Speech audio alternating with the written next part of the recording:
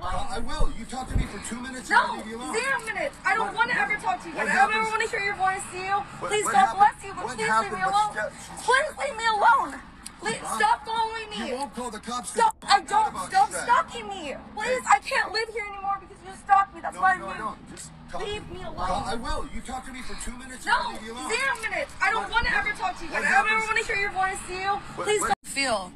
You're filming my father and my fucking sister. How does this make Oh, you is that feel? the one that put all those scratches on your arm? You want to see the Scratches? pictures? You want, I'm I got I'll show you- I can show you the pictures right now. No, I want you to leave my family fucking alone. Keep hanging outside of there. Monkey, hit the road. Dude, I promise you, you're gonna get yours and you're gonna I don't get give a fuck. good. You can bring whoever the fuck you want. That's okay. You're gonna can find bring Is a that whole a fucking army. I don't give find a fuck. This make you feel? Huh? You're filming my father and my fucking sister. How does this make Oh, you is that feel? the one that put all those scratches on your arm? You want to see the Scratches? pictures? You want, I got I'll show you- I can show you the pictures right now. No, I want you to leave my family fucking alone. Keep hanging outside of there. Monkey, hit the road. Dude, I promise you, you're gonna get yours and you're I gonna get it. This is Cynthia Ortiz. These are the Charles Perry Stalker podcast. It is June 20th, 2022. We uh, do the disclaimer use allegedly. Nobody's been found guilty in a court of law just yet. Um, apply the but for standard. But for my need to document threats, ongoing harassment, ongoing crime directed at me, uh, my family, uh, people in my, you know, friends, anybody, you know, that gets in their way um, I wouldn't do these. Apply the reasonable, prudent individual standard. It, it, does it look reasonable or, or prudent to act like he's acting? Um, no. What would any reasonable, prudent individual do if they were me, if they're a stalking victim? I'm no different than her. And so we also assi- assert all constitutional rights. Mr. Perry's a public figure. There's a reason that he is in office. We wanted him in office. It's part of a bigger investigation going on that started with the violation of human rights starvation, torment, torture of women and children, broadcast all over the internet, all over the world. People don't like it when you do that. I guess that you are not getting it. It's like you're just not all there, not right in the head. There are reactions that people give that are, that show that they understood what you just said. And there are reactions that people give that show that they need to be in a butterfly net they've got something wrong with them. They're not processing what's happening. They're not processing what you just said. They're not assimil- you know, assimilating it all in their minds and then giving the proper reaction. They're not. They act like they have fucking no idea what you said. So there's two or three things that are happening.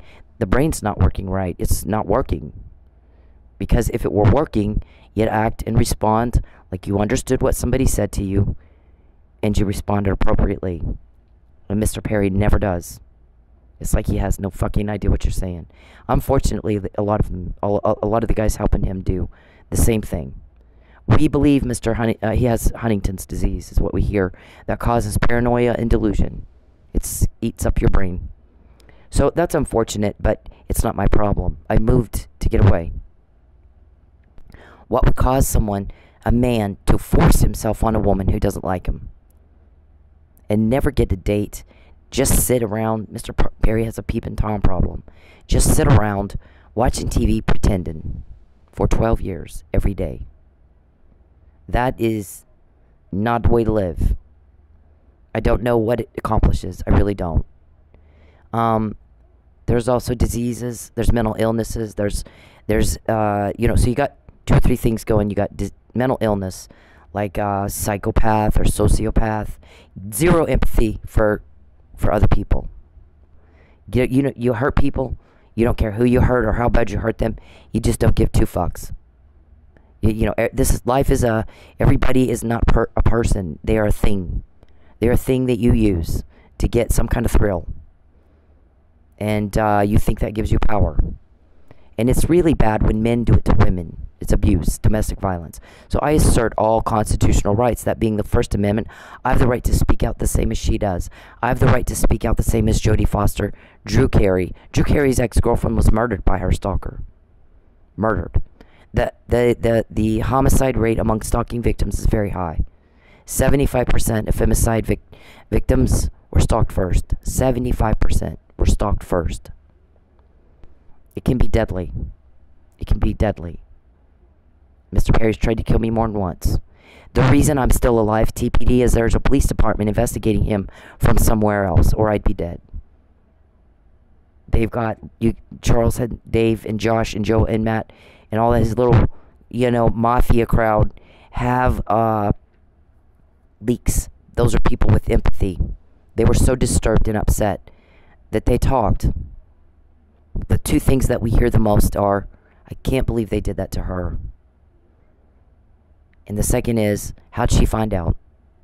Those are the two things we hear the most. If I'm quoting you, who's getting the information from you to them and them to me? And how? Mr. Perry asked me, I, I, Mr. Perry, I have zero desire to help you, sir.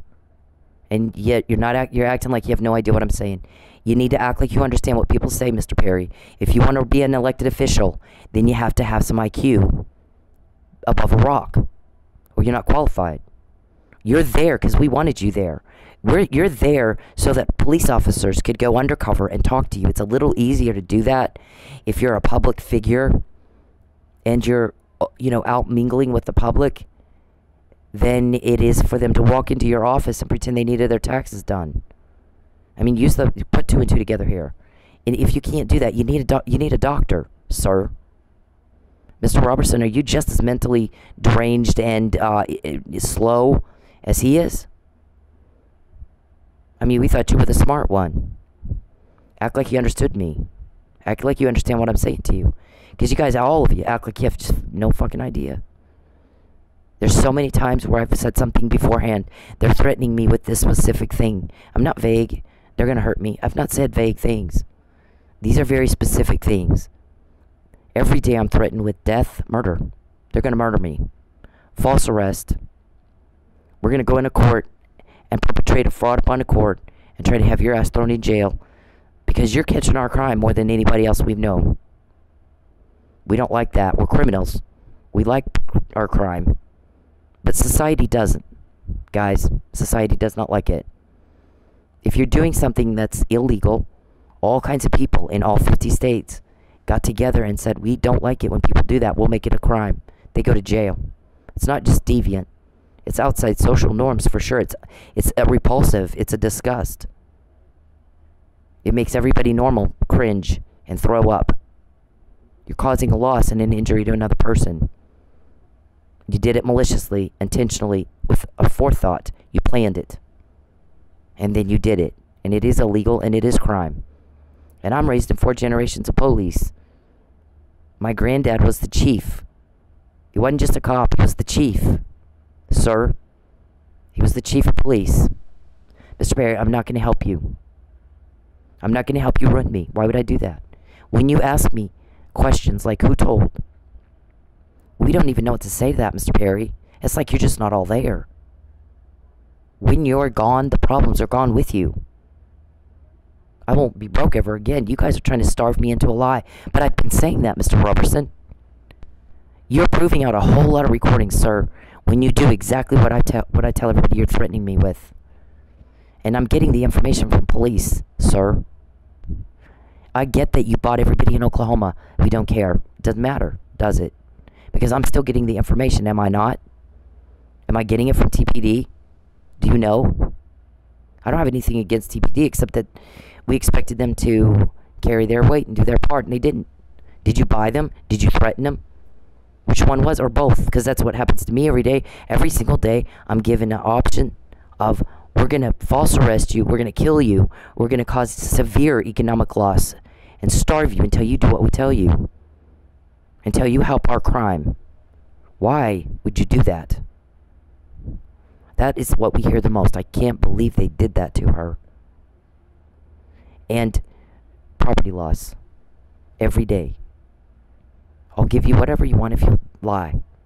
No, you won't, Mr. Perry. You'll give me what you want. Because what I want is for you to give back the money that you owe legit. Not byline money, sir. Legitimate debt that you owe. Give that to me and get out. And that's what I want. What you want is buy a lie money and then the lie. And you guys are all used to getting your way. You're used to stomping your feet like a bunch of two year old little brats. And everybody does what you want. And this time it's different. It's different when you do it to me, but I have help. And that is a need to know. It's not for you to know.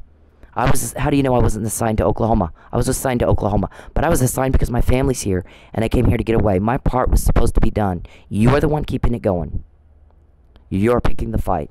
Every time you cause me the loss of 1 minute of my time, 1 penny of my money, you in- interfere with one relationship. You try to use family and friends to gaslight me and it doesn't work. It pisses us off and you get caught because the allegations, sir, are stalking. You are making unwanted contact. You're forcing yourself on me against my will. I do not like you. I do not love you. I do not want anything to do with you. I moved twice to get away from you and not have a fight and not have to deal with your troublemaking. And you do it all day, every day. You have no life. You're pathetic. You are absolutely pathetic. You don't get a date with a woman doing everything women hate. You don't get one, sir. You're not all there. You act like you have no fucking idea what I'm saying. You never respond right. Acting like that, like this guy here, I'm gonna get you. Wow. I have pictures of you. Wow. Okay, two things here.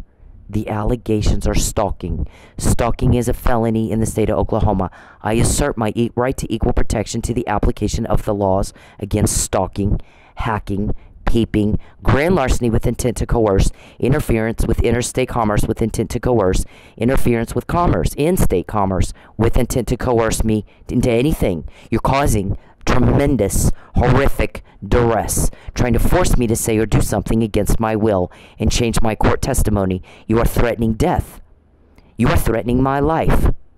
You are threatening my safety and my well being, my economic well being. Get your hands out of my wallet, or your other choice is every time you take a penny of my money, expect to be charged when this is all over with. There's a lot of you, there's a lot of victims. It's overseas because you broadcast us all over the uh, dark web. Our witness says, as long as I've known Charles Perry, he puts cameras in women's homes. He trolls women. He leaves town and tells his wife and his children he lies to them. He's going out of town on business. And what he's really doing is he's a little troll. He's a serial stalker. He finds women who are divorced with kids. When they're not home, he has cameras put in their home. He'll buy the landlord. And he has hidden cameras put in their home. They don't know it. They've not consented. And then he begins to sell watch time all over the internet, all over the world on the dark web. Does Josh Schulte have anything to do with that, Mr. Perry? He's from Lubbock.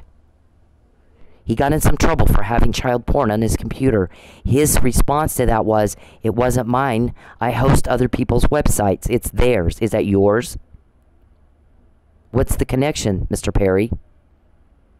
All of a sudden, when you do it to me, you thugs, it's different, isn't it? I'm the one that made a difference. When you do it to me, you get caught. And I'm getting the information before you do it, Mr. Robertson. You act like you have no fucking idea what's happening. Like you don't understand what I'm saying. I'm saying it before, and it's specific. It's a specific threat. We're gonna take her car. We're gonna starve her until she lies. She can go live under a bridge until she lies. We gotta make her look crazy. Let's get her whole family to do an intervention and tell her she's crazy. I never introduced you to my family. I would never in a million years take you fucks around my family. In fact, I said stay away from my family. Mr. Perry, when you ask me who the leaks are, there's two things here. One of those is I'm not told that, and I've said that over and over and over and over. I don't care. Why would I care? You know what I care about is that I got the information. How they get that information from you to them, nobody gives a fuck, sir. No one cares. It doesn't matter. It's not relevant to me at all. That's their deal. You know what matters to me is that I get it from them.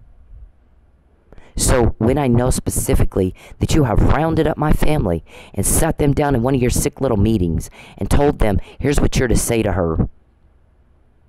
And then I guess one of my cousins didn't want to help. So then he starts asking me, is that a leak? Oh my God. I'm not quoting her or I'm not quoting them. I'm quoting you, sir. So no, you're the leak. Whoever said that is the leak. Or there's a wiretap order on them. You don't know, nor do I. leak some wiretap orders or whatever order it is they're going into a courtroom and playing already what you said. I know that initially it started with uh, somebody was an informant. Somebody recorded you, somebody went to police with it, and then that gave probable cause to get whatever else they need. And you give it more and more every day. I'm not trying to help you. What I want you to do is supposed to be a deterrent to your crime, dumb fuck. When you stalk a woman and hack a woman and peep on a woman, it is a serious violation and a sick one. You are a sick, twisted fuck, all of you. Or you wouldn't be able to bring yourself to do that. Sadism is a disease. Sociopath is a disease. It is not a trophy. You act like you think it's a trophy. I don't even have words for that. Psychopath is a disease. You are everything bad in the world. You take everything that's fun and you suck the fun right out of it. Anything good, you blow it up. And you think that's cool? You think that gives you power? Power, sir, is in service. You can't understand a word I'm saying, can you? Much less be able to determine what power looks like. It's not sitting around on your fat, lazy ass perverting around all day, making trouble. You are reprehensible, sir. Depraved mind, demented minds. Where you wouldn't do, you can't, you're too weak to pick on men, so you pick on women. Oh my God, wow. So we, I assert all my equal protection to Violence Against Women Act, domestic violence laws, Title 18 of the United States Code 1512 and 1513. What I asked you to do is not contact me. I moved twice to not have any kind of conflict, to get away from you and be with my family. They, I did not introduce you to them. I never would, I wouldn't bring you around them. So if you know them, you took it upon yourself to go introduce yourself to them. And any kind of intervention would confirm what our guys got when they said Mr. Perry is a delusional whack job. He has gone up to Oklahoma and told four different stories. One is she's a girlfriend. Two is she's a fiance. Three is she's a w- wife, and he's put uh, he's got a, actually gone so far as to forge a marriage license and throw he's showing that everywhere, and or a concubine. Or the next minute she's a threat, and he needs an entourage. Do you know any? The guy said, I'm quoting the guy. Do you know anybody who goes where the threat is and leaves the safety of his home five hour, six hour drive away, or eight hour, whatever it is, and, and, and won't fucking leave. They can't get the bitch to leave Oklahoma. Do you know anybody that goes to where the threat is and won't leave? I mean, come on. This girl paid her boss $5,000 that she did not have, plus lost all the money she would have made had she been at work. She paid her boss 5 grand in no-show fines to avoid a threat moved twice. And he's actually, with a straight face, saying that he's going to Oklahoma and he's under threat and needs an entourage instead of staying home in Lubbock where there is the safety far, far away from her. Do you know anybody that does that if they truly believe they're under threat? I think that guy's a wacky guy. He first of all, they she won't have a fucking thing to do with him. and he's telling people they're married and forged her name. There's no ceremony. There's she hasn't consented. She didn't know anything about it. He's telling everybody not to tell her about it. If somebody says, "I've got this document with her signature on it, but don't tell her." It shows her consent, but don't talk to her about it. You got a flag right there something's off. Cuz if it's legit, they don't care if you talk to me about it. Lucky Miller asked me about it. Not coming to where I was staying 5 minutes from Mannford Police Department. 3 minutes. I mean, right I mean, the the police department was right just right there from the hotel where I was staying. Maybe not even a 5 minute drive, maybe not even that far. Very very close. He doesn't do that. He doesn't do that to come see me. He comes all the way an hour into Pryor where my club is, Sensations, and talks to me there. And asks me about it there. And then begins to express deep disdain for your interference with my income. Disdain. He said, I've told them I can't have people in my town inconvenienced because you're now you're putting a burden on Cynthia taking her money. She can't pay her bills. It's not that she doesn't want to, it's that you're making it intentionally where she can't. You're the causation. You are intentionally taking her money, grand larceny with intent to coerce. It's a crime, Mr. Perry, not a trophy. And when I say that, you clearly have no fucking idea what I'm saying because you failed to respond appropriately. And our doctor has told the judge that you're severely mentally disabled and severely mentally ill, and you are proving her right every day. And when I make these statements and you begin to go, yeah, I can starve you into a lie. Yeah, I, I can do this. I can do it. No, sir. Wrong. You're about to go to jail, Mr. Perry. And you act like you fucking don't know. While you're asking me who told, while you're asking me who's helping me, while you're calling around to find out, or is it you? Is it you? All kinds of police departments. While you're putting it out there that you will pay big money for the actual recordings, that I've typed up in my emails 40,000 emails representing 40,000 recordings of you committing a crime against me or planning one. And you're offering all kinds of money. While you're doing that, Mr. Perry, you're claiming that you can do this and get away with it. Again, sir, you act like you just don't know what I'm saying. Which then gives our shrink all kinds of fuel to take to the judge and go, he has no idea what she's saying. Can't understand a word. He's severely mentally disabled, most likely from an aging degenerative disease, and he should be hospitalized immediately. And his family has the legal authority to do that, and they're not doing that. What is their criminal liability in this? Jacqueline, Jordan, and Matthew, or his attorneys. And that's been discussed, and I'm not going to divulge what that is to you. It's a need to know. I said I don't like you.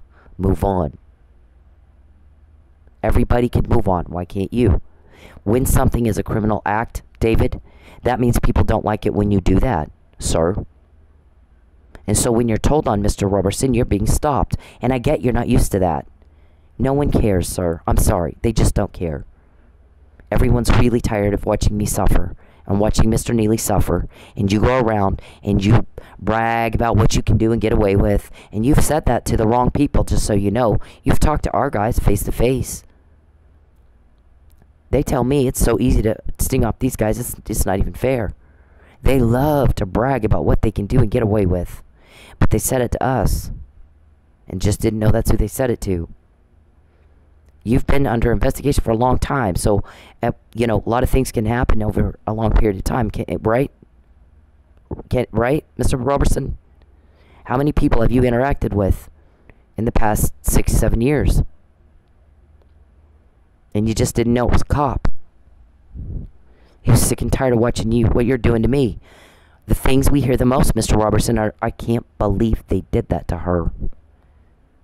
And the second is because of that, because there's people going, I can't believe they're putting her through this. I can't believe they're doing this to her. Mr. Perry, do not contact me. I'm not, this is not a conversation. Act like you understand me. Everybody's embarrassed by you, sir. Mr. Perry, listen to the words. What you're doing is offensive and inappropriate and bizarre. You're bizarre. We, you've been told to stop, or you're being stopped every time you're told on. Uh, why don't you understand that? You need to get a doctor to help you. Really, I'm not. I'm not shitting you. Maybe you do too, Mr. Robertson. Act like you understand me. The biggest thing they say is, "I can't believe they did that to her." And because people are saying that, the next question is, "How did she find out?" Do you understand that, Mr. Robertson? Are you able to put two and two together? That those two work together. One happens because of the other. Do you know what I'm saying? Because Mr. Perry has no idea. You can clearly see by his reactions being very inappropriate. He doesn't understand a fucking thing you say. I don't like you. There's nothing to want about a bitch who starves women, tortures and torments, deprives women and children of their basic human needs, and you pissed off all the wrong people when you did it to me. It's different when you do it to me. So you took my home. We found out you are looking for the recordings and you got big money on the table and you don't have any takers. Now what do you do? Second thing is, we found out of your code words, Muffin Man, that you guys use little daycare code words. Muffin Man is the nickname for one of your people, right? I know who it is. I'm not saying it. There's a reason I'm not going to say it. And Rumpled Rumpelstiltskin and Gre- Hansel and Gretel and um uh Ratatouille and I mean all these code words. Pin the tail on the donkey. All these code words you use, like when you coached Mike to Pensacola, Miss Officer Nealey, who took my vandalism report. That one, the one you tried to kill, and when he didn't die, you framed him. And everybody knows that. Do you think people don't know? They know. They're mad. We know. Our guys went and asked. The timing of this is awfully fishy. Six days after a car vandalism, at first I had a threat to my car. It was a specific threat. It wasn't a vague threat. It was specific. I'm going to show you. Prissy Pants, Galley. That is dated August 23rd, 2019. A very specific threat. I'm going to have her car towed and sold. It's not legal, but it don't I don't care. I'm going to break the law anyway. I'm going to have her car towed and sold before she figures out it's not legal. You said it, it was recorded, we got it, and I put it out. Didn't I? It's right here. I put everything goes to an attorney first, and then it goes out from there. And I'm not going to tell you who puts what. It, the crime isn't talking about what your crime is. I know you think so. There's no crime in being, you know, being vocal like Polly Peretti, Susan Wilson. Susan Wilson had a church boy, a guy she went to church with, put hidden cameras in her home. What's wrong with you, church people? Why you act like that? Um, and then uh, Drew Carey, David Letterman, everybody who's been a victim of stalking, you can talk about it. TikTok girl. You think you're exempt from the law? Why do you think that? Because you keep we get that stuff like that. Here's the thing, David. When we're quoting you and you think you're you're getting away with something, why why do you think that, sir? It speaks to your mental status. If you think you're getting away with something when we're quoting you, I've not seen that before. We're quoting your guy now. When Charles pesters Cynthia and takes her money, things don't go well for us. We're seeing things happen we've not seen before. We don't know who these guys are. We should have found out.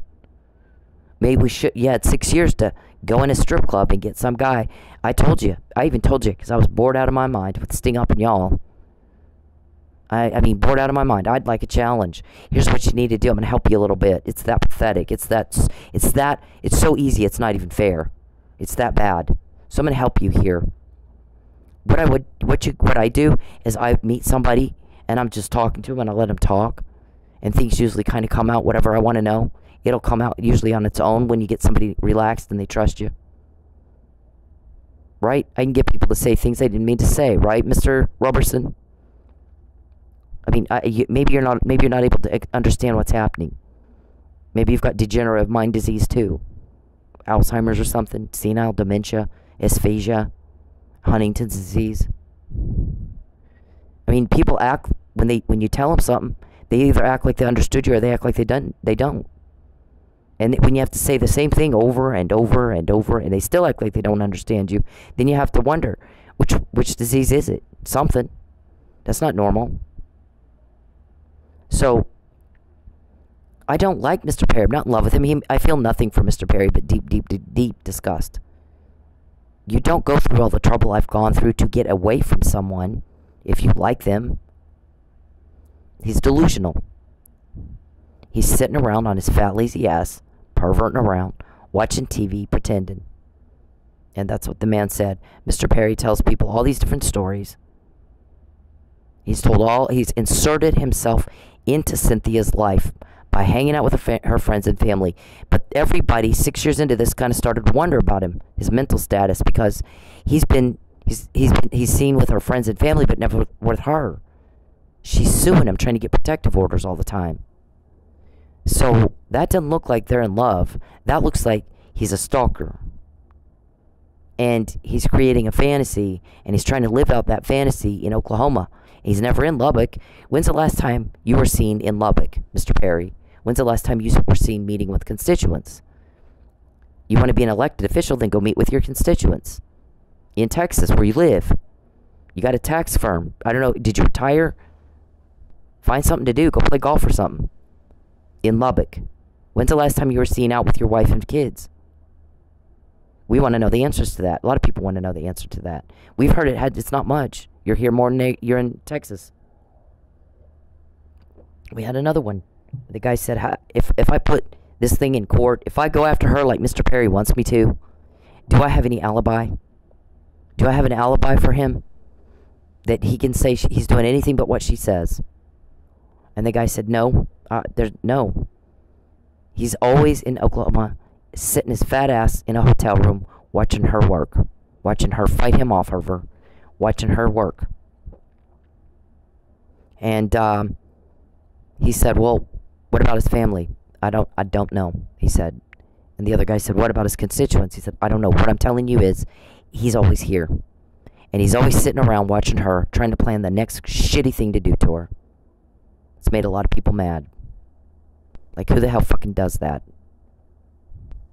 Who the hell fucking does that? It's not a trophy, sir. You're offending people. And so when you offend people, we get stuff like this. It's a very specific threat, is it not? You want to starve me into a lie? What am I supposed to lie about if you keep doing what I say you're doing? And I say it beforehand, not after. So what is it you want me to lie about when you do that? I'm not trying to help you. So in the sting ops, I'm like, you guys need to send up one or two guys in to just be regular customers, to spend all kinds of money on me, and then just get me talking and relaxed. And then I, l- I let my guard down and I might let something slip. But that's not what you did. You send these guys in that just hound me with all kinds of weird questions. What's your name? Where you, you know, or say say something that about me that they shouldn't know anything about. Like Mr. Wagner, would you like me to bring you furniture? Wow, uh, you know, here's the thing, Mr. Wagner. I never told you I didn't have any. What I told you is I got my furniture out of my storage unit. It, I mean, all I had was a bed, because Mr. Perry's trying to starve me into a lie. See, the guys that are helping me, Mr. Perry, Mr. Roberson, have known me almost all my adult life. They've watched me make a shit ton of money. They watched me. I've, you know, I'm 21, 22, 23 years old. Didn't have a dime because I'm just a young kid. They watched me rack up debt. They watched me pay that debt off. 15 grand in credit card debt I paid off. And then went and bought a bunch of furniture with cash. And then bought a new car. Built businesses start beginning to establish relationship with elected officials. When I was lobbying federal, I never did state, sir. So I mean, they've known me, they've watched me, they've they've been around me, they know me inside, outside, backward, and forward. They'll know what I'll do in any given situation, and you don't. You act like you don't even know what I'm saying. You're proving out the recordings of you. And if I'm saying this person and this person didn't want to do your little weird family intervention thing where my family is quoting you, not them. Um, so is it that? Is that a leak? No, I'm not quoting them. I'm quoting you, genius. So I, I you know, I it, it may not be a leak, sir. It might be a wiretap order on your phone. I don't know. I'm not told that. I don't care. I'm glad to have the information. The semantics aren't my business, nor do I want to know that, nor do I care. How that all works, I don't care. You know what's what's what important to me is that I got this information before you tried to do it. I knew Mike Nealey was drugged before anybody else said it. It was a drug. I said in March 2020 what my email says. We'll go there. This is all the subsequent stuff you did to my car. This was what was Michael Nealey took a report on. My, you guys put powder all in my trunk, and it was all over the room where David Robertson had employees of Dynamic Shot staying right next to me.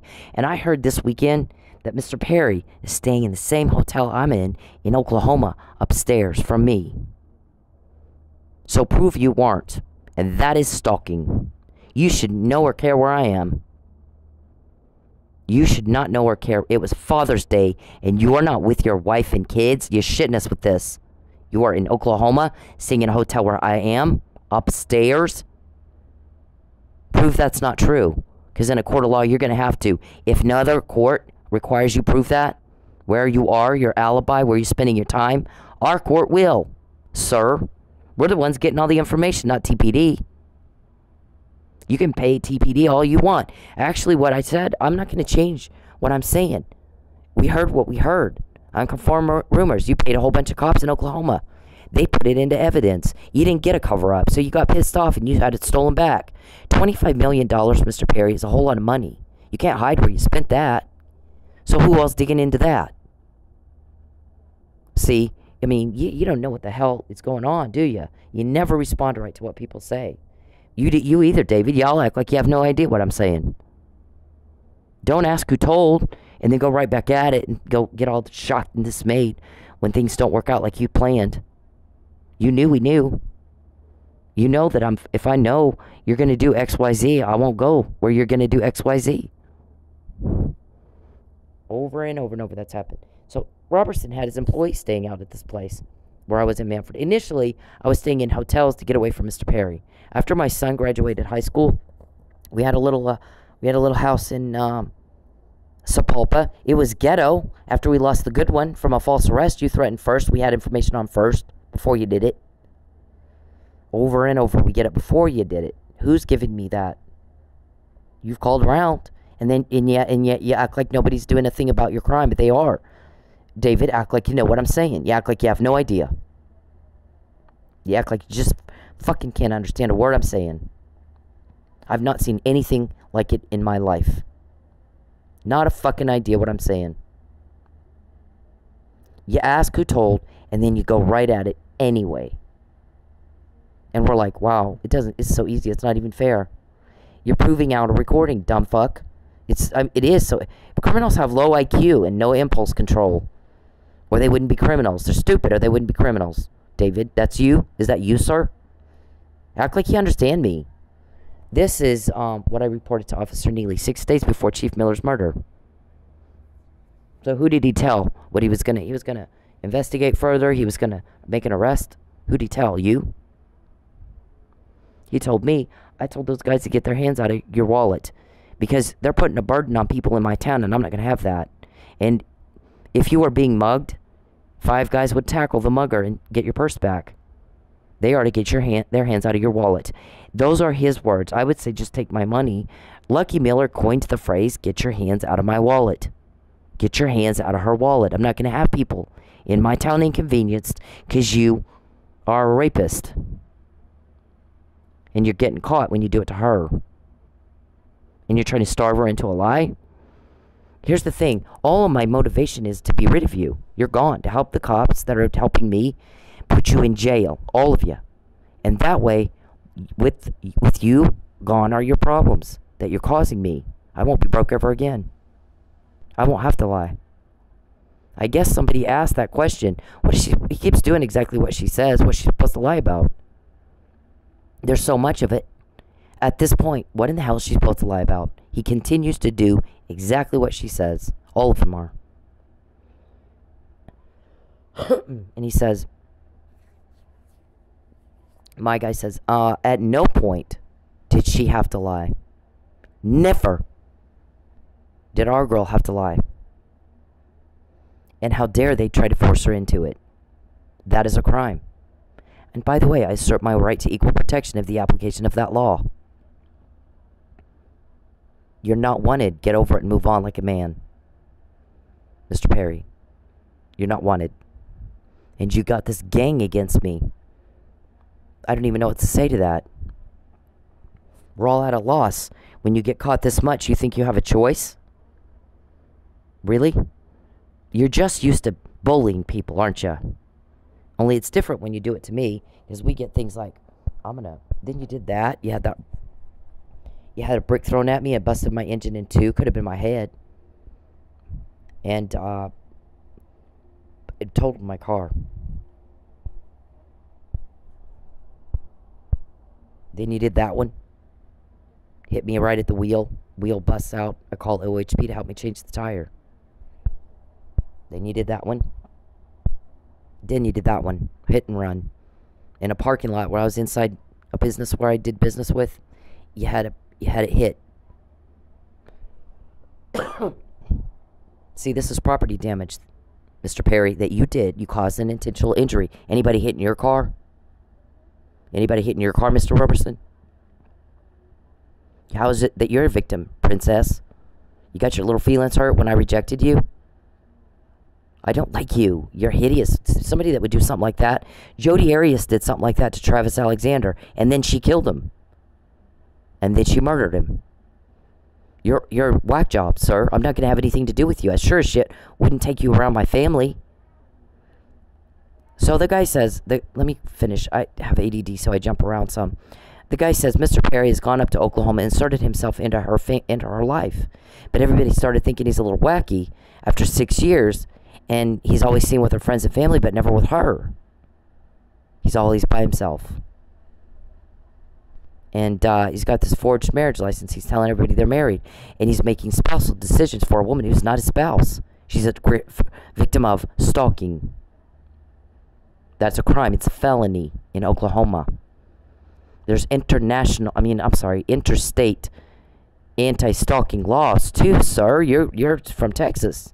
You don't need to be up here. You need to be with Jacqueline, Jordan, and Matthew, your family. And they and then Mr. Powell, I guess, has said is asked, does Mr. Perry know that's not his family? That's Cynthia's family? Because I'm just talking to him, and uh, it's, I'm, I'm worried about him. He seems a little nutty. He's very unclear on whose family that is. It's not his family. It's her family. And I asked you to stay away from him, didn't I? So, why are you just like she did? Did she not just tell Neil, stay the fuck away from my family?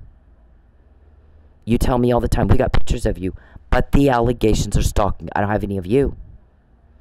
You're coming where I am, in Oklahoma, sir. I asked you to stay away from me. Stalking is a felony. It's a felony, sir. There's federal law that apply to you. Do you understand what I'm saying? Do you act like you understand me, David? And uh, I'm gonna get you. Are you? Is that a threat? You're gonna get me to so you can do what? What, how, what is that gonna accomplish? What has it accomplished so far? Every time you say you're gonna get me, and you plan another crime, and you get caught planning it, and then you do it, and then I go, well, I told you so. You just proved out a whole bunch of recordings. I told you so. You proved out a shrink that thinks you're nuttier than a fruitcake. I told you so. You proved out a shrink that thinks you've got Alzheimer's or some kind of degenerative aging disease. Now we're hearing Huntington's and that you need to be immediately institutionalized. You're a danger to yourself and others because you're doing shit like this hitting my car. Mr. Perry, you're dangerous. We have a dead chief of police. You're, you need to be in the hospital immediately. And so your lawyers and your family may have some legal repercussions criminally because they didn't do a fucking thing about a man who can't tell fact from fiction and has spent all his time in Oklahoma, in a state where he does not live, doing shit like causing damage to property of a woman who rejected him. Who fucking who? What if Matthew acted like you're acting? What would you do if your son acted like you're acting? It's embarrassing, sir. You embarrassed the hell out of me. Does he know that's not his family? I'm talking to him and it's he seems kind of unclear. That's her family, not his family. And I'm telling you the same thing she said. Stay the fuck away from my family. You wrote up a script to have them do a little intervention. And you got caught doing that too, right? We need to make her look crazy. You know, the Republican convention was in Texas last week. Is that why you ramped up all the hell last week? You wanted to make your little speech, but you're giving me a whole lot of I told you so. There was a specific threat made to my car, and then all of a sudden I got shit happen to my car. What are the chance? Always hit right at the wheel. I'm not hitting people. People are hitting me. This was the Duvals. Mr. Robertson wanted me to call the Duvals. I didn't. I called their insurance. When I hear you talking, Mr. Robertson, because there's some kind of whatever leak or wiretap order or whatever it is, then I pretty much do opposite of what I heard you say you wanted me to do. Because you coached Mike to, uh, to Pensacola and things did not go well for him, did they? When he did what you wanted him to do. Your intentions are nefarious. They're malicious. They're intentional. You want to cause a harm. You want to cause a loss. You're intentional. I'm threatening her car, and then I'm going to wreck it. You intended it. It was malicious. You pre planned it. It's premeditated. Now it's not negligence. Now it's intentional. The sentencing is a lot higher, David, Charles. When you, when you commit a crime intentionally, we've met Ray, mens rea, have we not? You knew it was criminal. You knew we knew. And you did it anyway. Wow. So easy, it's not even fair. So, I said it before. I said it in August 2019. And you did it over and over and over. And then this was the last one. And this guy jumped up and down. Why aren't you calling the cops? Wow. Uh, what? Why am I not calling the cops? You're shit me with that question. Question. Are, are, why am I not calling the cops? Um, huh.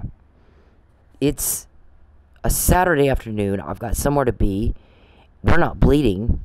You can walk it into the police department. You want to file a police report.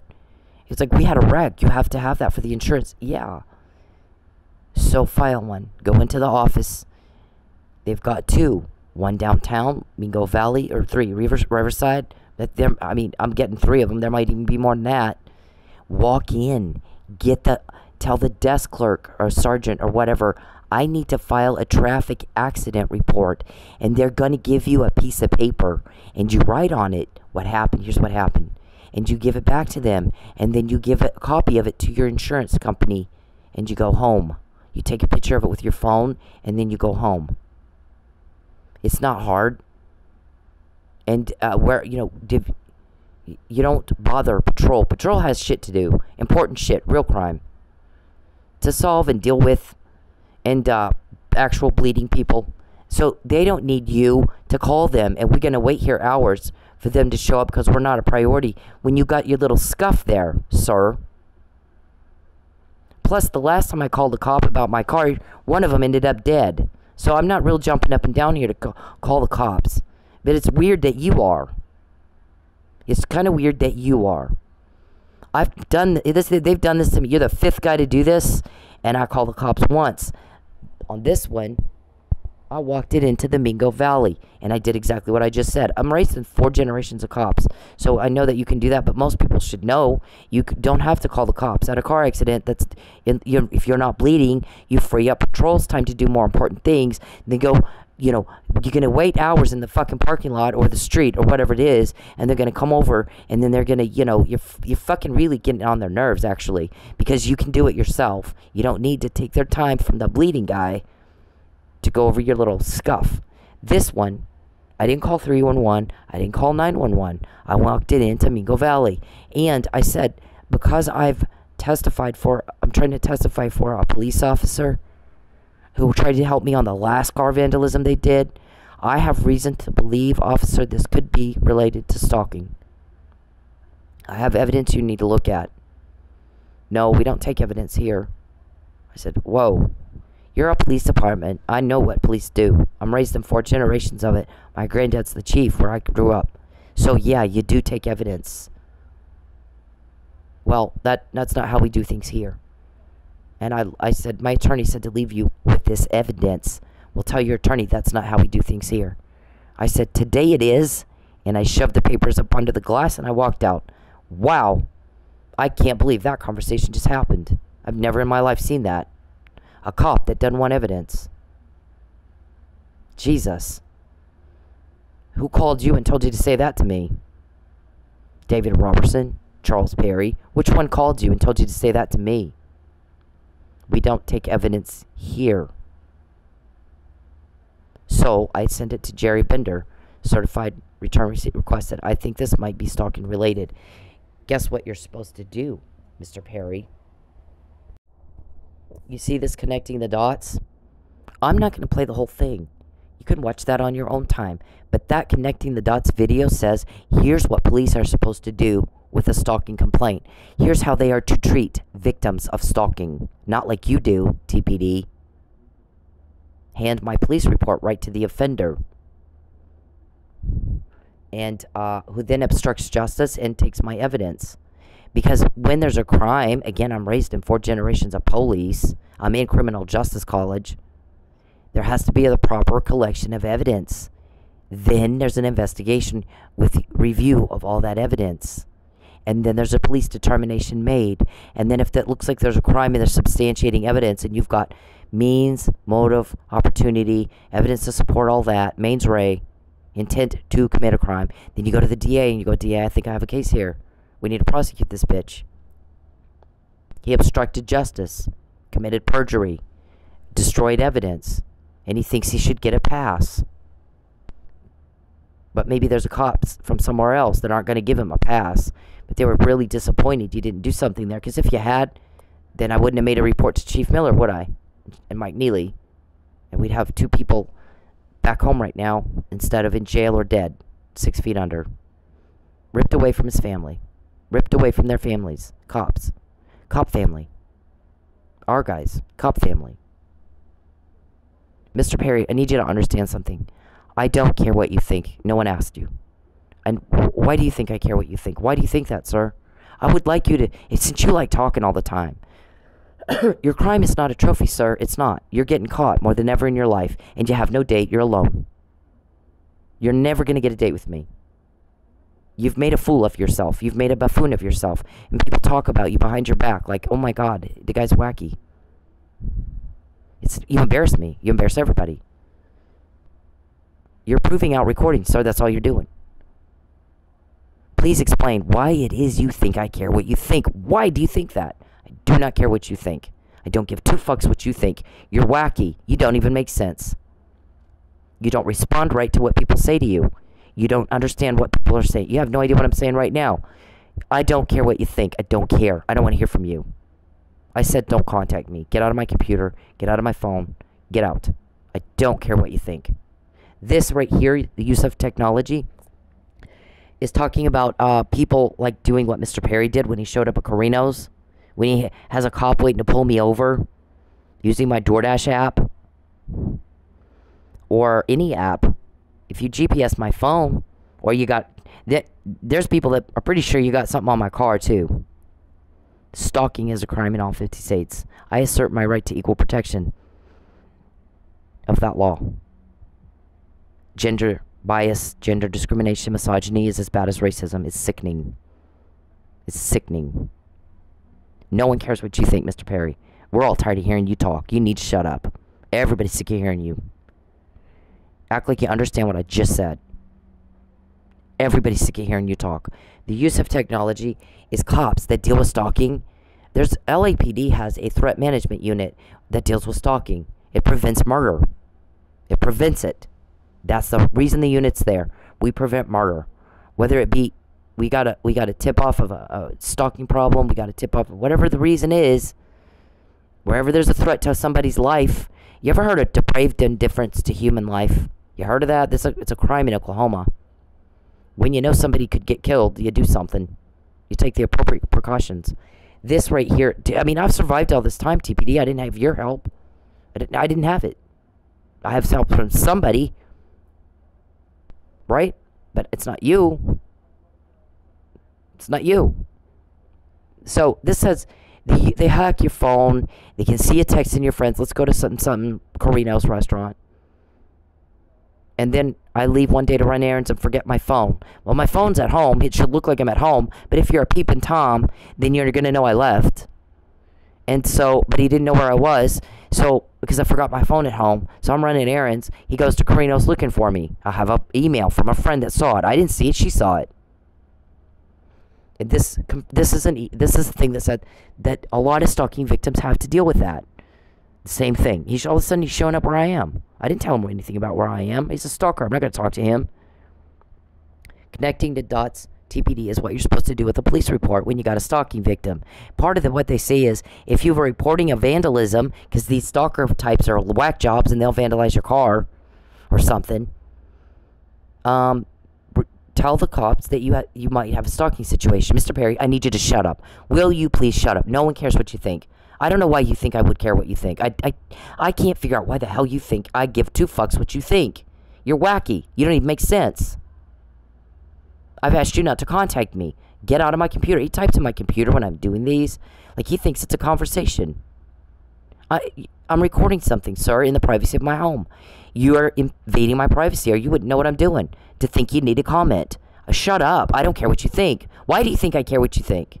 Why the fuck do you think that? You give our uh, shrink a whole lot of fuel to go into a judge and say something's wrong with his mind. Who else is criminally liable for doing nothing about that? Because he continues to try to talk to her. She doesn't care what he thinks. He doesn't even understand what a word she says. Never responds right. Ever. And he never shuts up. Why do you think I care what you think? Why do you think that? Nobody understands why the fuck you think I give two fucks what you think. I don't care. I don't want to hear it. We're all tired of hearing what you think. Everybody's sick of you. Do you understand? You cause a lot of damage and a lot of loss and a lot of problems and a lot of drama and a lot of trouble. Profound, catastrophic loss, the kind we will never get over. When your guys are all locked up and in jail, the problems, the loss goes with you. It's gone.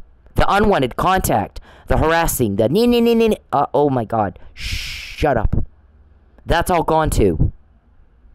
It's not hard to get information at all because everybody wants you gone. All of you. When you do this shit to me, everything changed. Everything fucking changed. Everything's different now. You have a new normal, and y'all act like you have no fucking idea. When I'm quoting you, not who you think a leak is, you, I'm quoting you, then you think you still have the things that were the way they were, we can do a crime and get away with it. You think that, really? You have zero grasp on reality. You don't have any legal rights to make any decisions for me, Mr. Perry. You made a fool of yourself. And that was the conversation about it. He's making spousal decisions for a woman who's not nothing to him. A stalking victim. It's part of the stalking. They're not married. She don't like anything. She, he's whack job. And the guy said to him, if that's all it takes to be married to somebody now, is you watch them on TV, they don't have to like you. They don't have to ever see you. You don't have to be in the same room with them. You just forge their name to a marriage license, and that's your wife. I'm married to Jennifer Anderson. That, it doesn't get any wackier. So you think there's something there? I don't think so. I, I don't think so, sir. I don't feel anything for you but deep disgust. Deep disgust. And you've told people, oh, she secretly loves me. It's she's just too afraid to say. No, no, sir. I'm afraid of you. You've tried to kill me. I, you act like I've. I mean, I've heard the recordings, Mr. Perry. Look what you've done to my car. Trying to starve me into a lie. You've threatened false arrest and then you carried it out.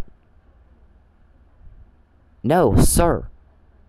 You don't know how to get women to like you. I don't like you. There's nothing to like.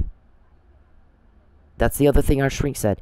He isn't, it's not about romance, I don't think. Because if you like women, you do what women like. What he'll do is everything she hates. And when he finds out she hates it, he does it more. And if it's something she likes, like get off your ass and go work. That so there's something to interesting. I already know what I did all day. You watch me work. That's not you know what's interesting about that. That's pretty bizarre boy, if you ask me. So she likes men who are working hard and chivalrous and good to women, treat their families right. Jackie Jordan and Matthew. And stay away from my family. Respect my rights and wishes and boundaries. You guys have zero. I mean, get some class and dignity. You want to be a dignitary, but you don't have any dignity. You cross boundaries and it's disgusting. You disgust me. There, when you do it to me, you're caught. So go ahead and brag about how you can starve me into a lie. And then tell me what the fuck I'm supposed to lie about when you keep doing exactly what I say. I did say he threatened to starve me into a lie. He threatened to take money that belongs to me. It's not his. So I can't pay my bills and eat. To starve to make to make me against my will lie. Or make me go to Texas or make me go to New Mexico or make me do something I don't want to do. I'm a grown woman, bitch. Get away from me. Get the fuck off me, rapist. Get off me, you sick fuck rapist. You don't have my consent to peep. You don't have my consent to contact me. You don't have my consent to call people and take my money. You don't have my consent to hack. You don't have my consent to do shit. You are getting caught because you're doing it to me. This time you're not getting away with it, David. I get that you always have. I get that you always have. And here's the thing all you had to do is leave me alone. I'm the Jenga piece. All you had to do is leave me the fuck alone. I didn't pick the fight. Every time you hit my car, you pick the fight. Every time you take up my time or my money, you pick the fight. I don't know you. I didn't come up here to pick a fight with you. I don't know you. I don't give a fuck about you. You're doing this stuff to me. Nobody's wrecking your car. Nobody's taking your money trying to starve you into saying something you don't want to say. You're doing that to me.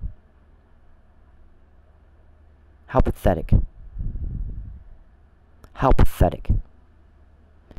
Domestic violence involves economic abuse. So, there's two things that we've told you, Mr. Perry, that we watch for. And Mr. Robertson Flat told you straight up. Here's how it is. We're looking on a coercion case for fluctuations of money. Do you give me money when you think I'm doing what you want, or withhold it, or take it, money that doesn't even belong to you, if you if you think I'm not?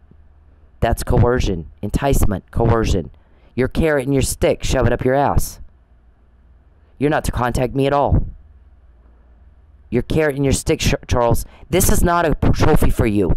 You act like you think all of this stuff is something that you would be proud of. No, sir, it's crime. You're going to jail. You don't know what day. Who is giving me this, these, this information, sir? Who has the actual recordings? What day are they going to bang on your front door and put you in jail? And how much more did you want to give them? You tell me. It's not TPD. That doesn't mean there's not somebody at TPD helping us, but that's a need to know. You're you don't get to know. It's not your business. You're dangerous. Did you threaten those guys? Did you see what we did? The Lucky Mike We'll do that to you. Did you threaten them? You, that's what you do to me all day. I'll give you whatever what you want if you lie. If not, I'm going to starve you into a lie. But you're going to lie. I only need to lie if I'm telling the truth, Mr. Perry. What am I supposed to lie about when you keep doing exactly what I say and I say it beforehand? Because there's call from somewhere else that were put this on and need to know so that you can't go threaten them like you do TPD or whoever else you threaten. It's not for you to know. You're dangerous. You fuck off. Why can't you control yourself? Mr. Perry, why can't you shut up, go away, and control yourself? And go be dignified in Lubbock, where you live. You embarrass the hell out of me. I wouldn't walk in a room with you for millions. You could pay me millions. I won't be seen with you. I'm way out of your league. Way out of your league. I like men who work hard. So our shrink is like, he doesn't like, it's not about romance.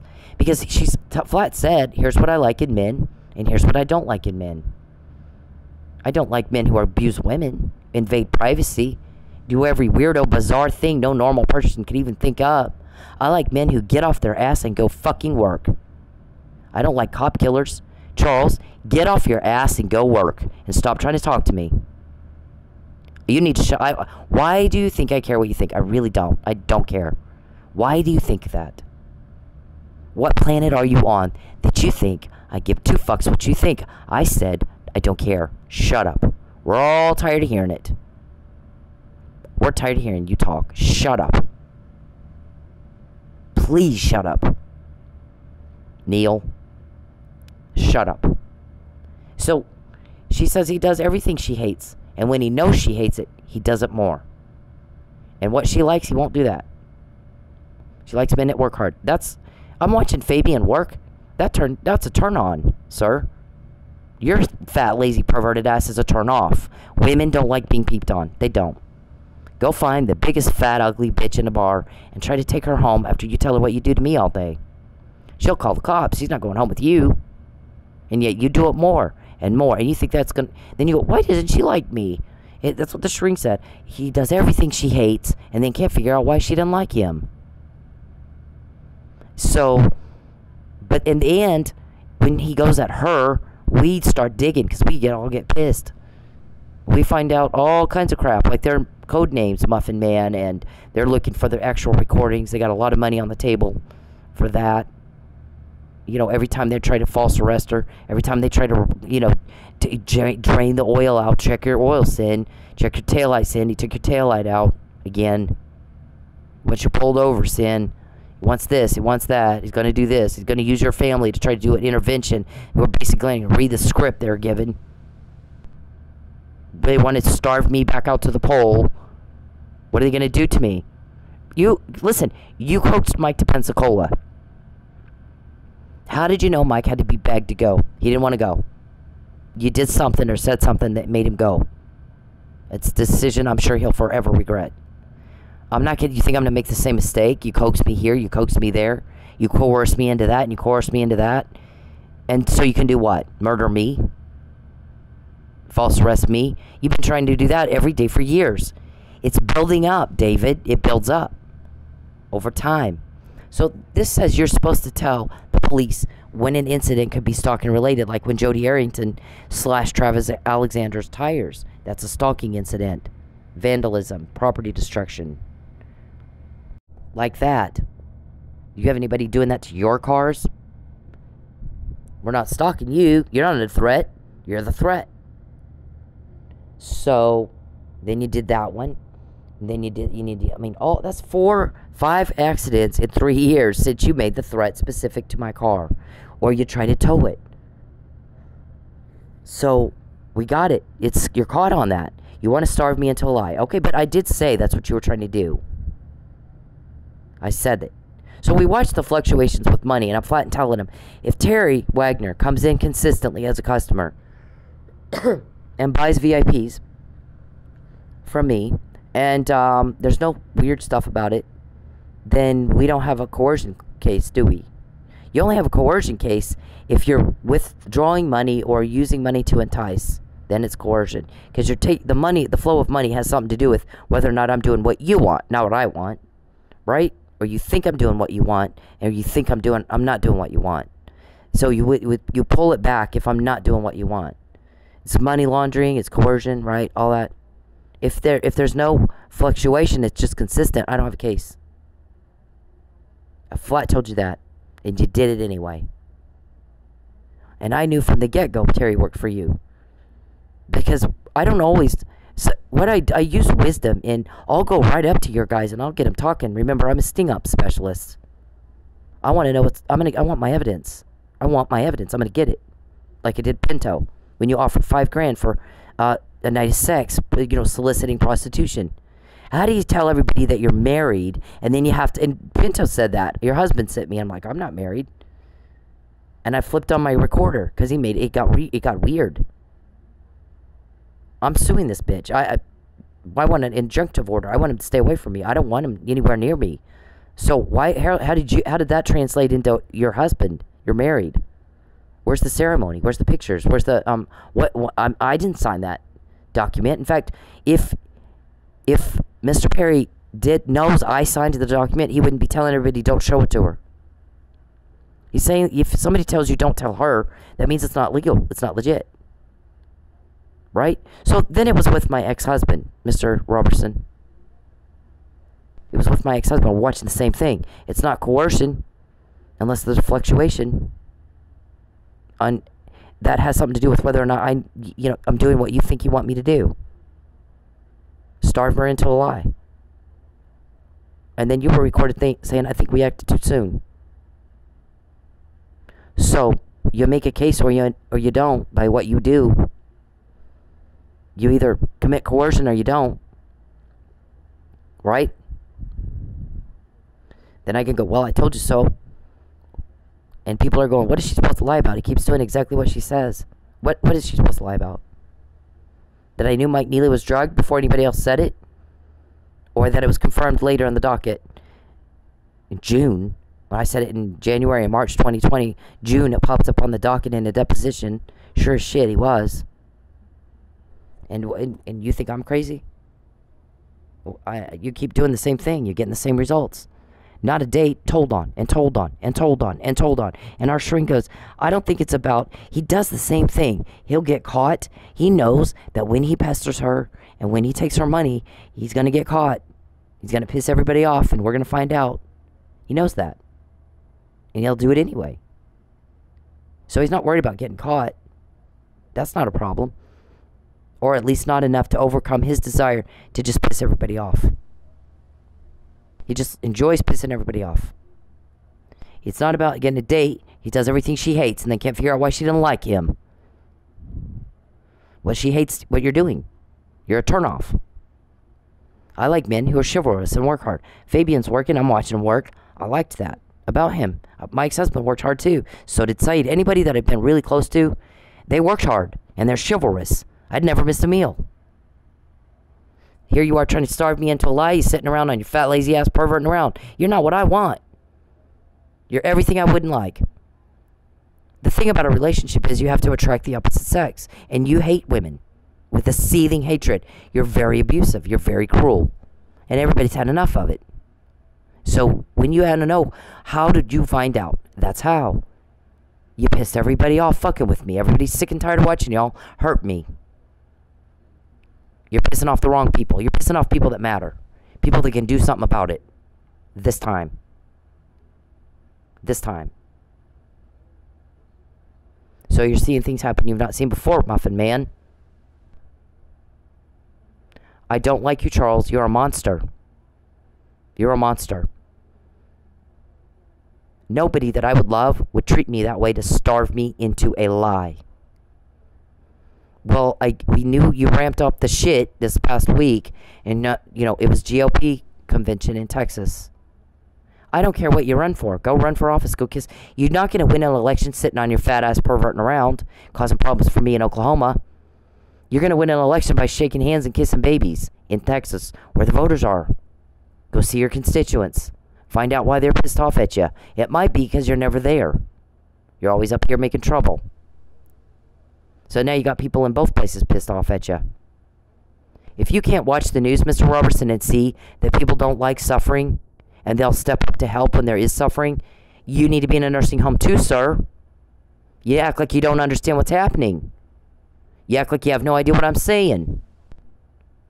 You didn't respond right. You get caught, you know you're caught, and you do it anyway. Flat told you. We're watching Terry Wagner, who, by the way, comes in and tells me the first time he's in, he's in, he's in the same business you're in. And I'm like, do you know David Robertson of Dynamic Shot? No, never heard of him. 40 years in the same state, in the same industry, you never even heard of him? I'd say he'd probably sent you in here, is what that tells me.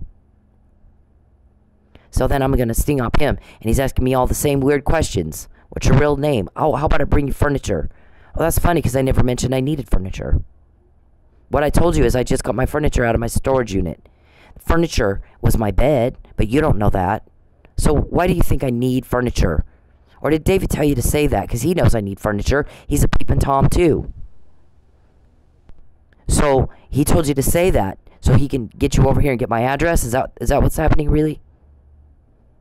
Is that what's happening really? And I'm flat telling you guys we're watching him to see if it's coercion. He, he's consistent. There's no fluctuations in the money. We don't have a case. Flat told you. It starts fluctuating with whether or not, based on whether or not you think I'm doing what you want. We got a case. Enticement. You withdraw the enticement when you think I'm not doing what you want. And you put you you entice or you give me money when you think I am. And you did the same thing with my ex-husband, didn't you? It's consistent. There's no case. It's not consistent. It fluctuates based on what I do. Is it what you want or not? Then you got a problem. So do what you do. I mean, we're happy to have the evidence. We'll pile it up as high as you want. Pile it up as high as you want. I'm not going to help you, Charles. You have done nothing but ruin my life and cause problems. Nothing but that. When you're gone, all that's gone too. I'll never be broke again. I won't have to lie. And how dare you even ask me? How dare you even ask me? Right? What kind of monster does that? So then when I tell the guy I don't call the cops, the only time I, and I did a podcast, the only time I call the cops is if I get a flat is that one time I got a flat tire. So what did they do? Flatten my tire like a week later. Yeah, okay. Didn't call the cops. Um, then they take my tail light out, so TPD will pull me over. So we're un- we're not sure what the obsession is with me talking to TPD. Call the cops. Something's wrong. If you won't call the cops over the little scuff on my bu- bumper here, the the wreck here. Hold on.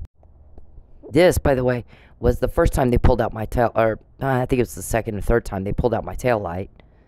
You have to have a key to my car and get entry, kind of like when you put the powder all in my trunk. There was no sign of forced entry, And I said to Officer Nealey, they get a key from the dealer every fucking car I have. So it's still a break in, it's just not by force. But they illegally obtain a key for my car. So you have to open the car up. You got you got unlawful entry to my vehicle. Pop the trunk open and flip take out the light. And my guys called me at one o'clock in the afternoon. They took your tail light out. Go fix it. I usually wake up about three. They woke me up. So I had to go fix it in Mannford. And then you, you did it again the other day. And you've done it now a third time. You have to have a key to get the trunk open. My car doesn't have a lock, lock from the outside, it has to be open from the inside of the vehicle. So that was illegal. That's stalking, Mr. Perry. It's a felony in Oklahoma. This is what he wanted me to call TPD over. This. Am I bleeding? Over that little scuff. Take take patrol's time away from all the bleeding people and all the danger and all the whatever theft and whatever shit they're having to deal with that actually matters and go call them over your little scuff here. Right? And then last time I did that, last time I called the cops over my car, one of them ended up dead six days later. So what am I going to get? You don't think that traumatized me just a little? It's not a day that goes by. I don't talk about that. this guy back in, backed into my car and then tried to claim I hit him on his bumper with the side of my car. You can't do it. You can't do that. He backed into me. He was trying to go for the wheel like everybody else and he missed. This is me. I did that a few months before, backing into a parking place and I scraped the uh, garbage can. Two different incidents. But his his goes all the way across here. Almost it almost did. He almost hit the he was try he was shooting for that like the rest of them and he missed. And this right here is his text. I'm telling him, I need you to text me a picture of your car. And he wouldn't do it. I still don't have it. I said I'll never hear from him again. He's an insurance scammer Charles hired. Look at that. He's all worried. Why didn't you call the cops? You looked worried. You looked upset when I said call the cops. What? Wow. Okay. And somebody, I guess, told him, listen, the look you saw on her face, you idiot, idiot, has something to do with hap- what happened to her before. You can't don't don't judge what people um their reactions when you don't have all the information. All the information is last time she called the cops, Charles, shut up. No one cares what you think. Why do you think I do? Shut up. I don't care what you think. I don't care what anything you have to say. I don't want to hear it. We're all tired of hearing it. You've caused a lot of harm. We're all sick of it. When you're gone, all that's gone with you. Mr. Perry, when you're gone, the pestering, the hacking, the peeping, it's gone with you. No one cares what you think. They don't ca- we don't care. We want you to shut up. You you have the right to remain silent. And really for your benefit you should. You should exercise that right. I don't want you. I don't want to talk to you. I would like you to stop contacting me. Stop contacting me. I don't want to hear it. I don't want anything to do with you. This guy, uh, the last time he said, last time she uh, called the cops over her car, one of them ended up dead six days later, and it looks like the the guy that hit her car did it, did the murder, and framed the the detective that was trying to help her. So she's been traumatized over that. She's not going to just call cops. She's not going to just call the cops. And the fact that you were pressing her too is kind of kind of strange. But that's the look you saw on her face. That's what you saw on her face. Um, and it, and I don't know which one I'm gonna get. I'm gonna get one that's on Perry's payroll, or I'm gonna get one that's ends up dead, like Lucky, and then I have to live with that. I have to live with that. I've made a phone call to police. Six days later, one of them is dead. The other one is accused of its murder, and I'm looking at the evidence because I'm raised by cops and taught to do that. The evidence doesn't support his guilt. I'm supposed to testify, and for the fourth time, you won't let me testify.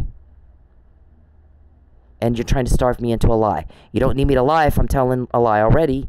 I have to be telling the truth for you to try to coerce or, or force me against my will to lie.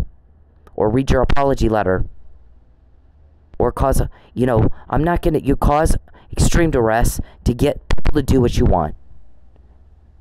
Coercion. Racketeering, RICO Act violations.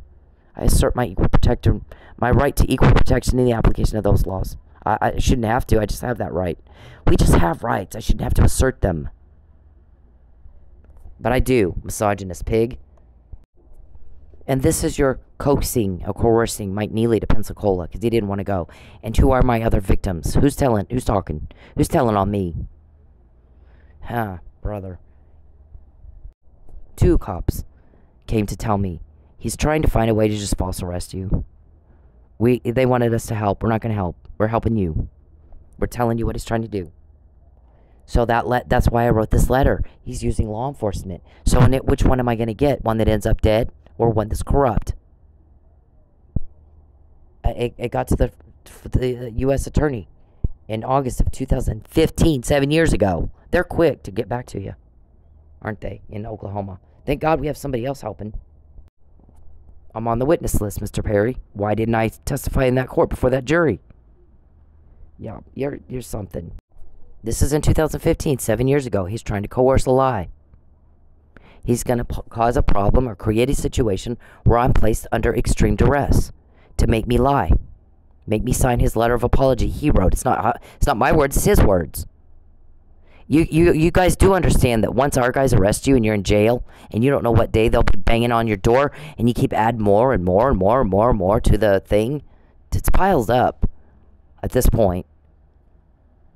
Uh, you, you know, once you're gone, all the problems that you create are gone too. I'll never be broke again. I'm not going to help you make my life a living hell, you sick son of a bitch. I'm not, Charles, listen to the words I'm saying. I'm not going to help you make my life a living hell, which you have done since the day I met you. Once you're gone, the troublemaking you do is gone too. And I will never be broke again, and I won't have to lie. You are creating situation of extreme, prolonged distress to force me against my will to do something I do not want to do or say something I do not want to say. I don't like you. Move on. Stop being a girl about it. You do everything I hate. So why would I like you? This is in 2015, October 29, 2015. And you did exactly what the email says, and you've been trying to do it again ever since I, you did the first one, and you didn't collect my blood. Where's the blood evidence that I didn't get, didn't get poisoned with arsenic? You didn't try to kill me with arsenic that you didn't obstruct justice, that you didn't commit perjury. We got to get her back to Texas where we can make her lie, do more to her. That was recorded. You trying to prove that prove this recording out? How did I get that? You piss off people that can get shit like that from you to me. And when I tell you, if you don't stop, here's your choice, Perry. You stop, get out of my life, I never want to hear from you again, or they're going to do it for you.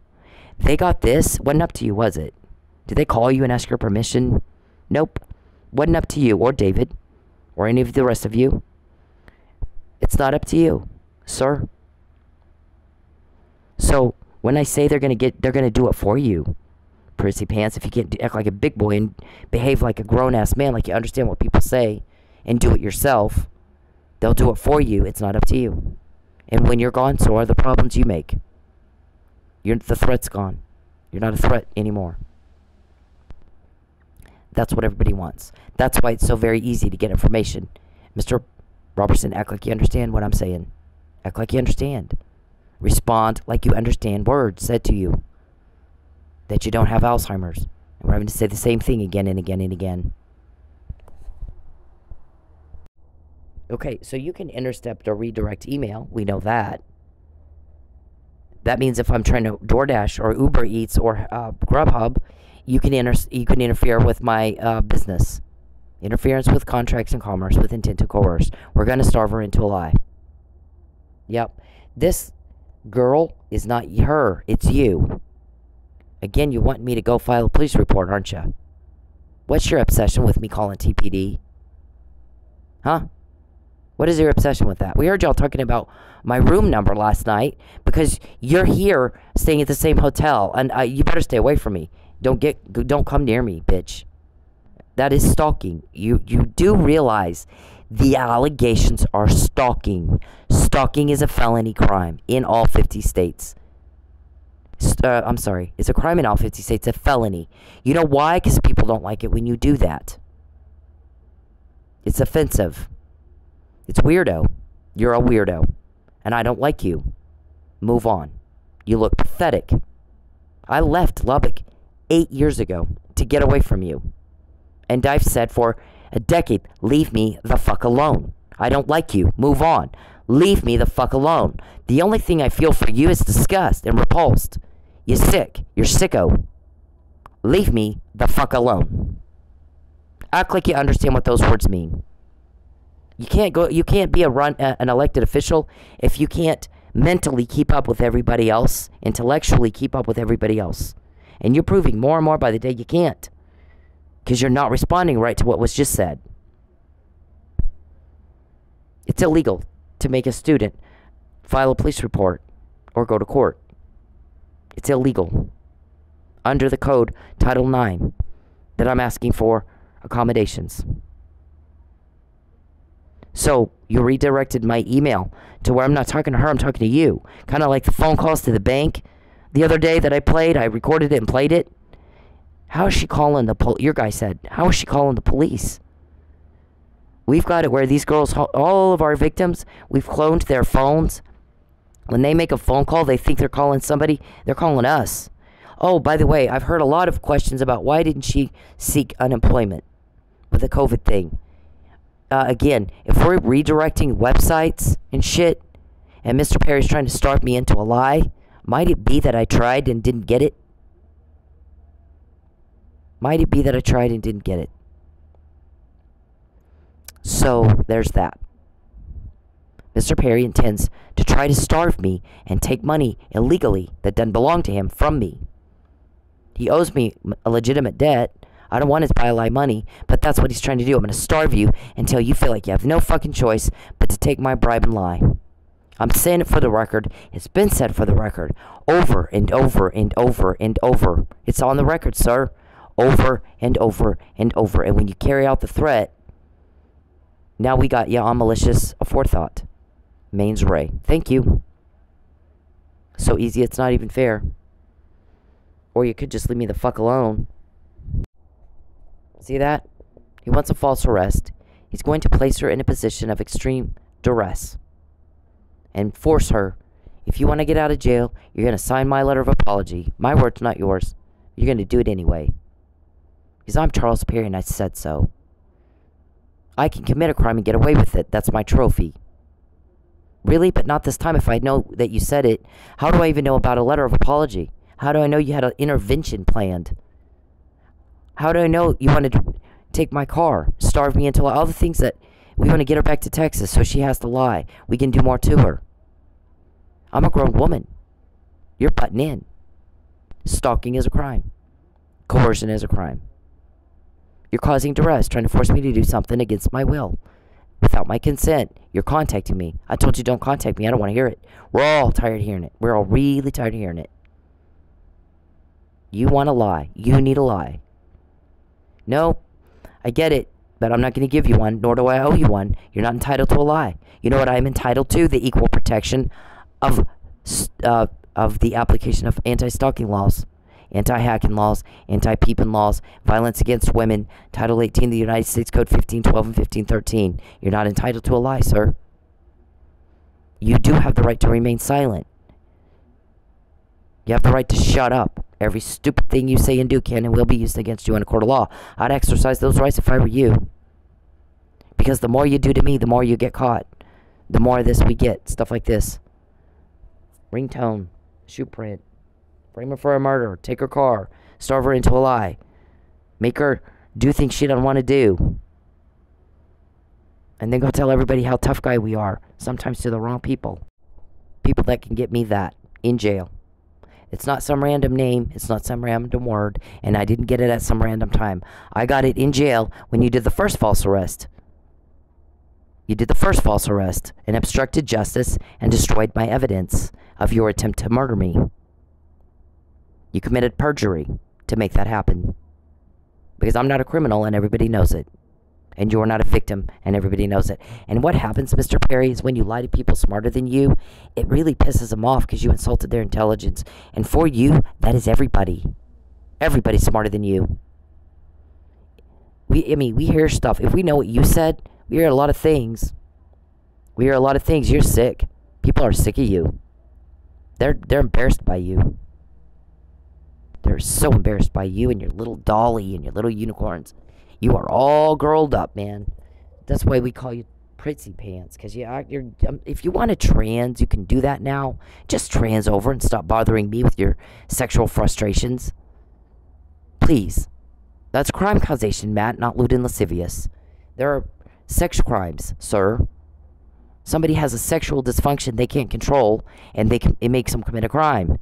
Sex offenders, you heard of it? This is um, they usually get beat up in jail. By the way, this is boo is to depict your fear that you cause and the sadness on the other side, and also a private joke from one of the cops and I, that my friends and I, the ones that have known how I can fucking make money, and right now they're investigating why you're taking mine, why I'm not making money. Why is he doing? Why is he doing that? They have been for about two weeks now. Because all of a sudden, on my DoorDash app, I just get a whole bunch of orders I can't do anything with. They're upside down. They're not profitable. You have to be profitable. You have gas expense and you have time. So when you get an order that says we're going to pay you ten dollars to take this food from, uh, you know, Cheesecake Factory over to, uh, you know, Joe's house over here, that's three miles away. That's a pretty good deal. You're going to make money on that. You got to pay for the gas on your own. DoorDash doesn't buy your gas. You got to pay for your uh, time, your time, and wear and tear on your car. So you got to make sure you're going to make money. If you're going to drive three miles and get ten dollars, it's worth it. If you're going to buy, if you're going to drive ten miles and get three dollars, it's not. I don't take those orders. You know that. So when in, I used to get one or two of those a night and the rest of them I could make some money. Now, all of a sudden, in two weeks, last two weeks, since you want to starve me into a lie, I'm getting 20 of them that I can't do and two or three that I can. And that's been duly noted for the record, Mr. Perry. You pissed everybody off when you did that. So when you when you get quoted, don't complain about it. You ask for it.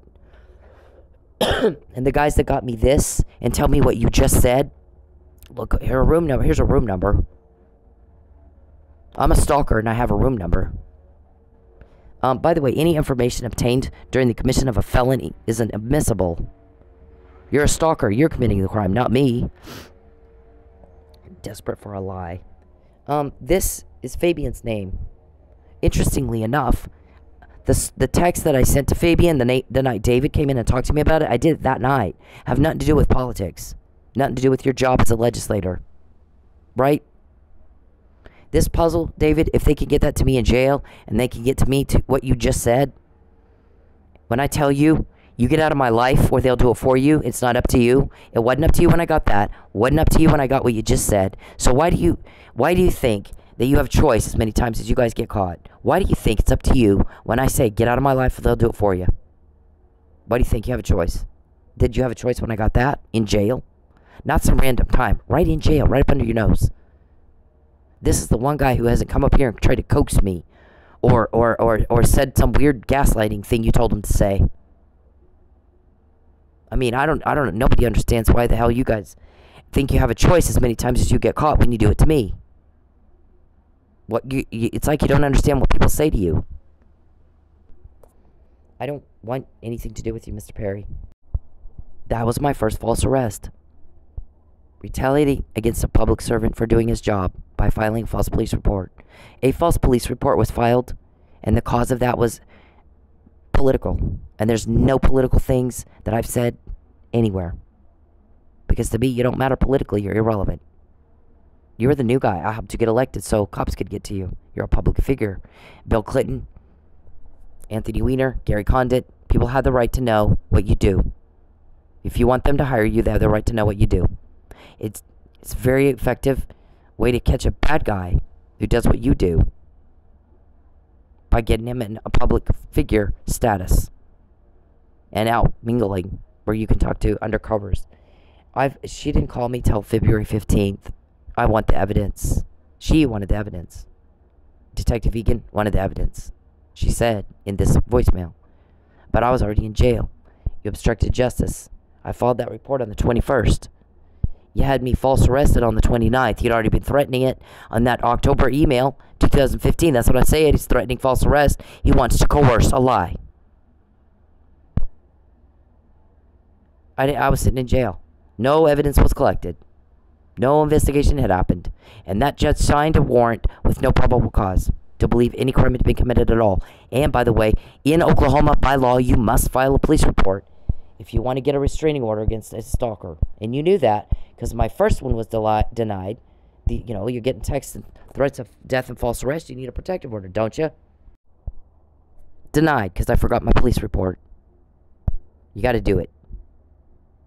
So I'm following the law. You knew. You did it in you, you you went into court and you committed perjury. You committed fraud. You lied under oath, or you're unable to identify your legislative duties, and you have Alzheimer's and forgot all about that. Number two, failure to comply with this law right here. I forgot the police report. You, you can't identify your legislative duties. You can't identify what state you work in, you legislate in. You don't legislate in Oklahoma. You legislate in Texas, right? Are you are you okay? Do you understand words? Do you understand what state you live in? I don't want you, you sick fuck. I don't want you. You're not loved, you're not wanted, you're told on, it's hold on, it's hold on, it's hold on, it's hold on. And you act like you have no fucking idea what's happening. You never respond right. You never respond right. You don't have any chance of a date with me. Not after you, what you've done. No, there's no way. This was the police report for Officer Nealey. He has no injuries. A bruise, well, um, I'm sorry, a red swollen right hand. This says, this is what the cop said who arrested him. Again, we have no probable cause to believe he did anything, because if you beat someone so badly that there's they die of blunt force trauma to the head, and you knock them back and forth so hard they have suffer internal decapitation. That means the head came off the body. You're gonna have a, you're gonna look like you were in a fight, and yet not a mark on him. He's got a separate injury from being pulled off Chief Miller after the whole thing's over, thrown face first into the floor. So it busted his lip and his nose, and he's got a red, swollen right hand. What's look at this? Oh, an IV in it. Look at that. IV in it. Nothing, not a mark on him. His hands would look like Chief Miller's face had he done that murder. So at this point, if you're a good cop, you understand you don't have probable cause to believe he did anything. And he wasn't tested until after he was given Narcan, which altered the chemical composition of his blood. And I said that he wasn't tested in a timely manner. The guys, the cops that got went over there and asked around and found out he was drugged, and the fight was actually between Lucky and y'all. What'd you give him? What's in his drink that made him pass out? He was out, he was knocked out cold. Respiratory distress. He was dying of opioid overdose. The fight was between Lucky and you over that. Because you can tell he wasn't in a fight. And yet he's sitting in jail right now, and you got us all pissed off over that. This is cop family right here. He's police. I come from four generations of cop. Doesn't get any more cop family than me. You, you, so you got away with this stuff all of a sudden. When you do it to me, it's different. We, I knew before it hit the docket. Again, again, I'm talking again. Before you do it before someone says it. I already have that information because somebody's getting that from you to me. How that happens, I don't care, and I'm not told. Stop asking. Alzheimer's, stop asking me the same questions. I've already answered. When you're gone, we all want you gone, because when you're gone, the trouble's gone. It's not hard to get information. When you're gone, all the problems are gone with you. And I will never be broke again. Starving a woman is not how you get a date. Doing things women hate is going to make women hate you. You're alone. You're by yourself. I don't like you. I don't want you. You sicken me. You sicken everybody. How could you put this man through this? How could you put this man through this? Six days. Yeah, I, I call the cops. Six days. He shows up. Six days later, he's here. I'm not going to call the cops. Not locals. Not, I mean, so why are you trying to make me call TPD? What's your obsession with me and TPD talking? What is your obsession, sir? You're making a fool of yourself. This was when Lucky asking if this guy, this was Charles, spoofed Lisa's account. He wanted to know, he wanted, did he come talk to you in a strip club? What he's wanting to know is what you talk about. Yeah. This was um I think this was actually Josh Burston, I'm not sure. This one says, guess what, Florida State's attorney, you got the wrong guy. And the real offender's still out offending while you got the wrong guy. You're about to have egg on your face because at some point we're gonna get the right guy and you're gonna look stupid. Or crim- or criminal. Are you part of the crime, Mister?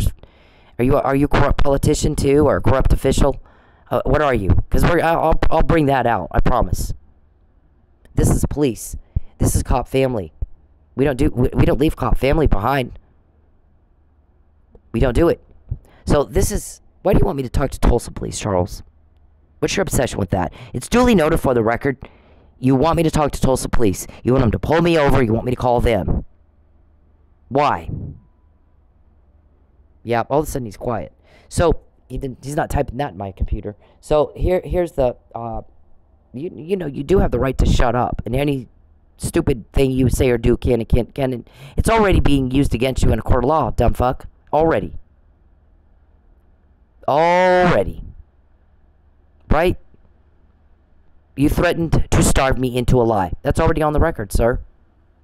So here's this right here, when I'm telling him he was drugged and not given a full tox in a timely manner. That's a Brady violation because he should have been tested while he's in the knocked out and uh, in respiratory distress, so we know what was in his blood that made him be in that condition. But he's given Narcan, which I said he was over, he was drugged. He didn't do it, and I said it in March. Depositions weren't taken till May. Did anybody call you, Mr. Robertson and Mr. Perry, and ask your permission to get me that information? It wasn't up to you. So what I'm telling you now, get out of my life, or they're going to do it for you. It's not up to you. You, you truly, after all the times you've been caught and have to ask, how did she find out about that? Think you have a choice? You do need to be in a nursing home if you actually think you have a choice. You're not responding appropriately to what's happening or what's been said or what's gone on every day for six years, seven years now. It's a big case. It takes a while. TPD could have could have done some things to help, and they didn't. Did you pay him? Did you threaten him? Which one? Which one? Because I get bribed, and when I don't take the bribe, here come the threats every day, all day long. And the shrink, Mr. Perry, on the record, told that judge that he's either threatening her or he's bribing her. He's trying to entice her or he's trying to hurt her. All day, every day. She's been subjected to extreme, prolonged distress. And she does pretty well in school. That's why they're trying to make her fail. They're trying hard to make her fail. All these men have a little meeting and try to make one woman fail. Because one woman all of a sudden made it all different. All of a sudden it's all different. All the shit y'all got away with all this time, you're not getting away with it this time. It's all different. But you know what? All you had to do is leave me the fuck alone. That's all you had to do. So you want to starve me. I've duly noted it for the record, Mr. Perry. You want to starve me. You've expressed that intent. I'm not going to lie for you.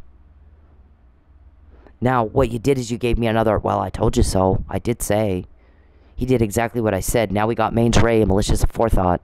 Now we got premeditation. Now the sentence will be much higher. Now the sentence will be much higher. You want to send me 20 orders I can't make money on so you can make me hungry, thinking I'll call you and go, okay, now I'll lie for you because you're forcing me against my will into it. If I want to eat, I got to lie for you. But I did tell everybody that's what you were trying to do to me. So I don't know what I'm supposed to lie about, Mr. Perry. Did I lie about the fact that I knew Mike Nealey was drugged in March or that it was confirmed in May? Which one? What do you want me to lie about? My guy said to tell you at no point do I have to lie. And how dare you ask? You pissed him off. You pissed me off that you would even ask. You're already on the record, Mr. Perry. So are you, Mr. Robertson. What you are told to do is leave me the fuck alone.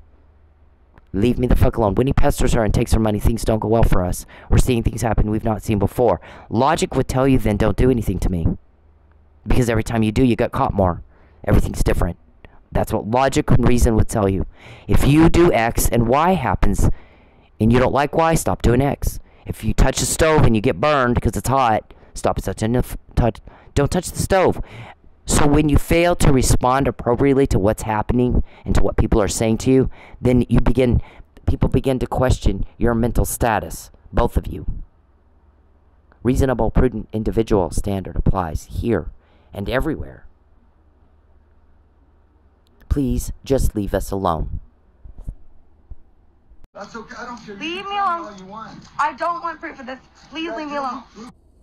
hey men, leave women the fuck alone.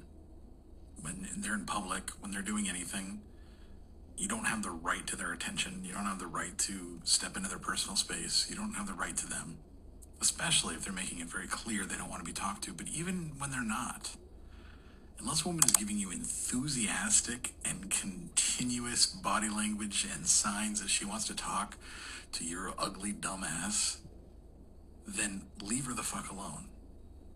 Find a date a different way. Okay? It's not clever. It's not cool. It's not cute.